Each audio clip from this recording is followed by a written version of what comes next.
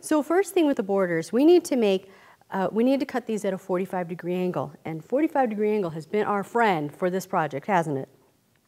So we're going to cut this at a 45 degree angle. There's the shape that we need to end up with.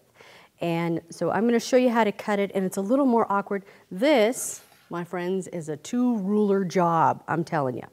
First thing I'm going to do is I'm going to cut the beginning of the strip at our 45 degree angle. So you find the 45 degree angle on your ruler. Oh, I want to make sure we're going the right way. There we go. There's our 45 degree angle. And I'll line it up on the ruler.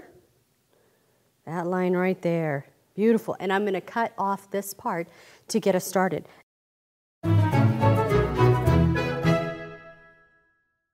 This episode of Ribbon Floral Block of the Month is brought to you by Benartex, fabric for quilters by quilters.